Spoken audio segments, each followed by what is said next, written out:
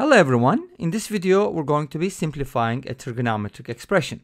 So we have tangent 70 degrees minus tangent 20 degrees and that is divided by tangent 50 degrees. And we're going to simplify this expression. So let's take a look.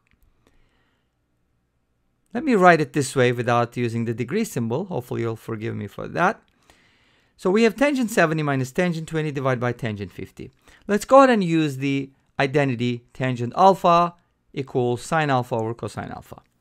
So this is going to give me sine 70 over cosine 70 minus sine 20 over cosine 20.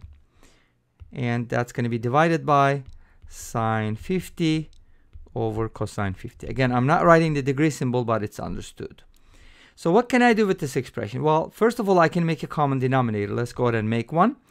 So to make a common denominator, I should multiply by cosine 20 here and cosine 70 here. So I get sine 70 times cosine 20 minus sine 20 times cosine 70. And that is divided by cosine 70 times cosine 20. And that is divided by this quantity. So at this point, I could just reverse you know, and just multiply. But let's go ahead and take one more step here. Now let's go ahead and flip this over. But before we do, let's take a look at this. Like, what does this look like, right?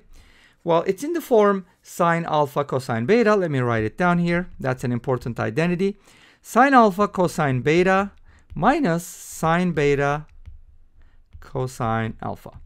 Well, and this should remind you something. Hopefully you're dealing with trigonometry and you know this already, but it is equal to sine alpha minus beta. Okay, so that's the sum and difference identities. So that means the top of the top, the numerator of the numerator, can be written as sine of 70 minus 20. Okay, great. We'll simplify that in the next step. That is divided by cosine of 70 times cosine of 20. And of course, the denominator here will be flipped and multiplied. That gives me cosine of 50 divided by sine of 50. Okay, now I have sine, I have sine of 70 minus 20, which is equal to 50. And this immediately simplifies. You can just cross them out, which is nice. And we get, we end up with a simpler expression, but we're gonna make it even better. So at this point, you might be thinking like, what am I going to do with cosine 50, cosine 20?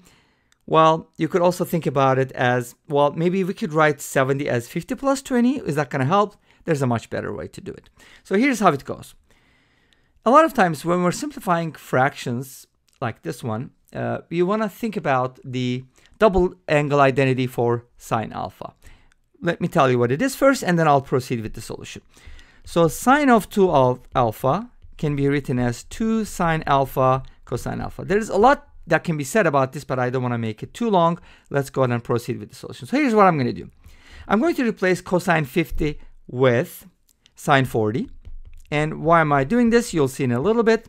And here at the bottom, I have cosine 20, but notice that 70 and 20 add up to 90 degrees. So I can just immediately replace cosine 70 with sine 20. And hopefully by this time you've seen what I'm getting at.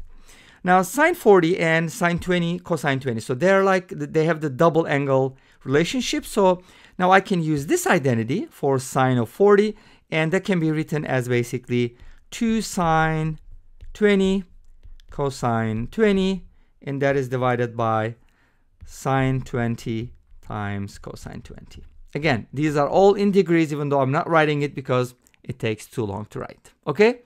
So what am I doing at this point? Well, we can just go ahead and simplify some terms here, like pretty much everything, right? Sine 20 cancels out, cosine 20 cancels out, and we end up with 2. Now, something interesting about this problem that I wanted to mention before I end the video. So that is, when somebody looks at an expression like this, you might be thinking, I know this is kind of like, not, that, this is not serious, it's just a joke, but I just wanted to mention this. So go ahead and cancel out the tangent because I want to, okay, here's what I want to do. I want to take out the tangent, so it's going to give me tangent 70 minus 20, and the bottom is going to be tangent 50, but 70 minus 20 is equal to 50, and I can just cross out the tangents, I can cross these out, and the answer is 1. Of course, this is wrong, it's incorrect, you can't do this. But this is just a joke. So let's go back to this, and our expression basically simplifies as 2, so the answer is 2 in this case. And this brings us to the end of this video. Thank you for watching. I hope you enjoyed it. Please let me know. Don't forget to comment, like, and subscribe. And I'll see you tomorrow with another video. Until then, be safe, take care, and bye bye.